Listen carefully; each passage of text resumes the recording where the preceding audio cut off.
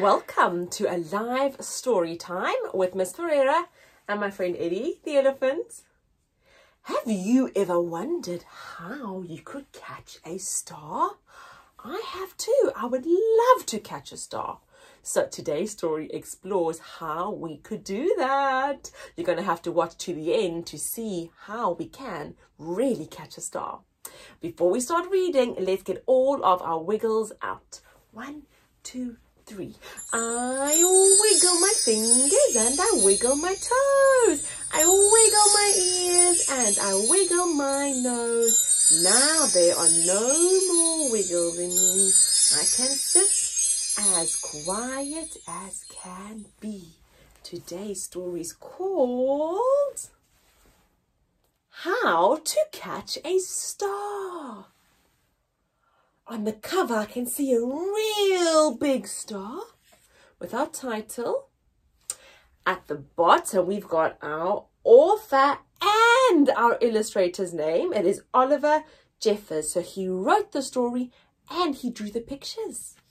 Here's our book's spine and our back cover's got a short little blurb. It says, once there was a boy and the boy loved stars very much. Let's see what happens. How to catch a star.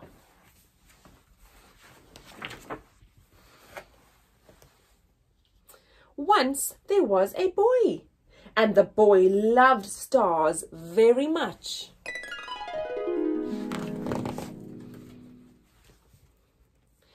Every night the boy watched the stars from his window and wished he had one of his very own.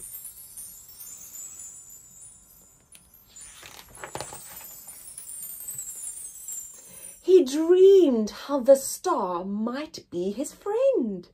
They would play hide and go seek and take long walks together.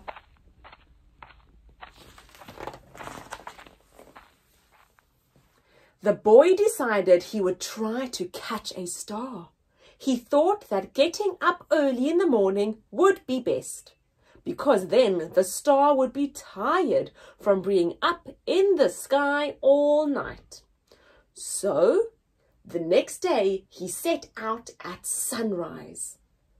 But he could not see a star anywhere. He sat down and waited for one to appear.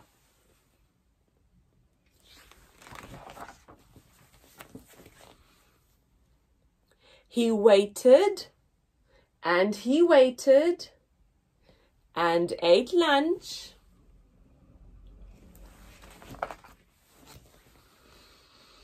And waited, and after dinner, he waited some more. Finally, just before the sun was about to go away, he saw a star.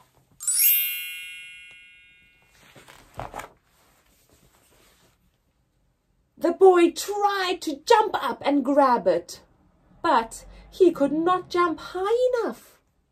So, very carefully, he climbed to the top of the tallest tree he could find.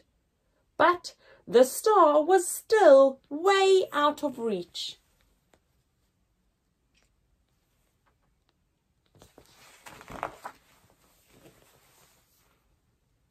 He thought he might lasso the star with the lifebelt from his father's boat.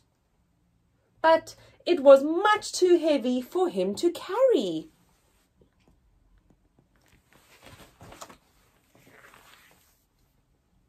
He thought he could fly up in his spaceship and just grab the star. But his spaceship had run out of petrol last Tuesday when he flew to the moon.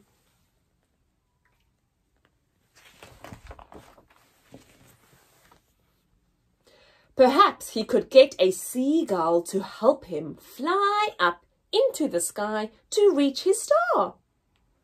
But the only seagull he could find didn't want to help at all.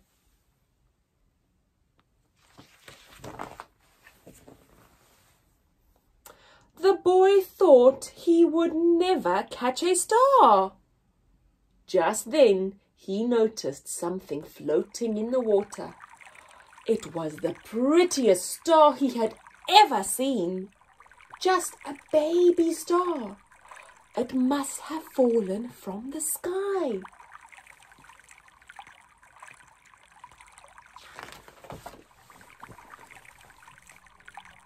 He tried to fish the star out with his hands, but he couldn't reach it. Then he had an idea. The star might wash up on the shore. He ran back along the jetty to the beach.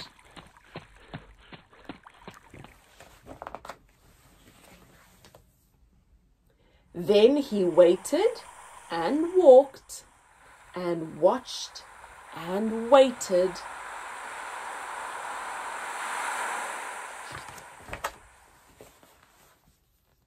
And sure enough, the star washed up on the bright golden sand.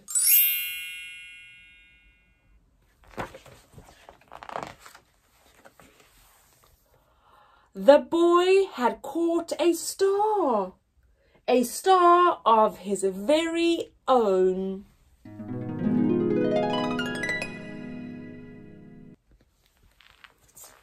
Wow, what an amazing story. Imagine you caught a star. What would you do with it? Tell your friends or your grown-up around you. Thanks for joining us for our story. If you enjoyed that story about how to catch a star, please click the thumbs up button. We hope you had lots of fun with us. We will see you next Wednesday. Goodbye.